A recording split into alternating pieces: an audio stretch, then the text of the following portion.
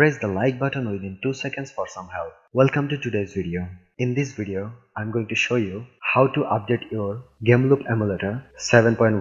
7.1 is the beta version of GameLoop emulator. It's a new version of GameLoop emulator. You can play any kind of game lag free with 60 fps with this emulator. This emulator have 7.1 Nougat Android version. I think it will help you to play your game lag free with 60 fps. So if this video is help, if you like this video, if you need any kind of problem solution about game loop emulator or any kind of game then let me know in the comment section and stay with me. And one more thing please subscribe my youtube channel and like this video. So don't be late. Let's start the video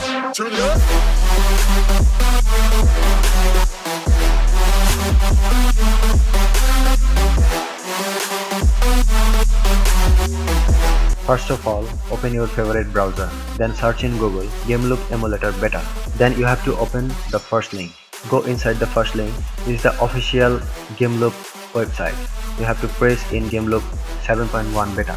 Then you have to download English global version of 7.1 Beta. Or if, if you are from Vietnam, then you have to download 3.2. If you are from China, then you have to download 4.4 and here is the all other version down there. When it's download complete then install your GameLoop emulator normally. Here is the proof. This one is GameLoop emulator 7.1 Nougat Android version. I think you guys are like this video and this video is help you. If this video is help then let me know in the comment section. And please subscribe my youtube channel and stay with me. And play your game lag free with 60 fps stay home stay safe. Thank you